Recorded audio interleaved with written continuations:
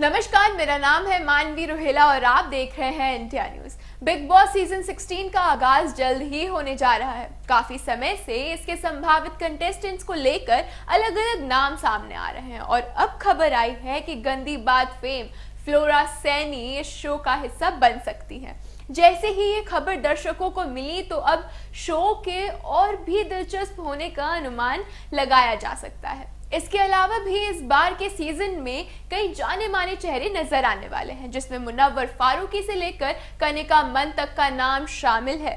लेकिन इन नामों पर आखिरी मोहर प्रीमियर एपिसोड वाले दिन ही लग पाएगी। फ्लोरा सैनी इन दिनों काफ़ी चर्चा में रहती हैं। खासतौर से ओटीटी पर वो बड़ा नाम बन चुकी हैं। कई पॉपुलर सीरीज़ का हिस्सा बन चुकी है। फ्लोरा सैनी अपनी बोल्डनेस को लेकर ज़्यादा जानी जाती हैं। Gandi Baat City of Dreams Made in India Inside Edge में फ्लोरा सैनी ने खूब बोल्ड सीन दिए और इन सीरीज़ के बाद वो ज़्यादा पॉपुलर हो गई।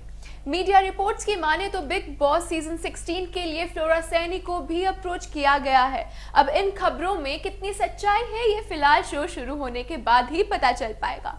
हाल ही में बिग बॉस 16 का प्रोमो सामने आया है, जिससे साफ़ है कि इस बार ये खेल बिना किसी नियम के चलेगा, क्योंकि खुद बिग बॉस इस बार इस खेल को खेलेंगे।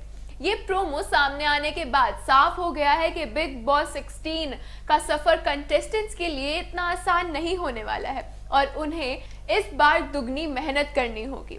वहीं कहा जा रहा है कि एक अक्टूबर को शो का आगाज़ हो जाएगा, जिसमें राज कुंद्रा मुनवर फारूकी, कनिका मन ट्विंकल कपूर, शिविन नारंग नज़र आने वाले हैं। आज की वीडियो में इतना ही। ऐसी ही वीडियोस और देखने के लिए देखते रहिए इंडिया न्यूज़। Thank you.